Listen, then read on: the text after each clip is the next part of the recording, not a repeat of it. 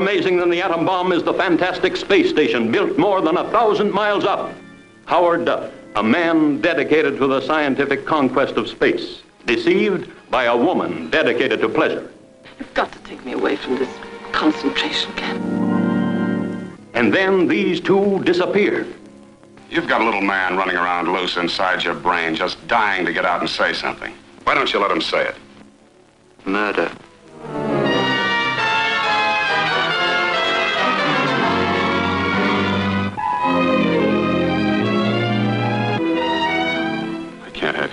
end of this. I didn't care. Oh, I love you so much.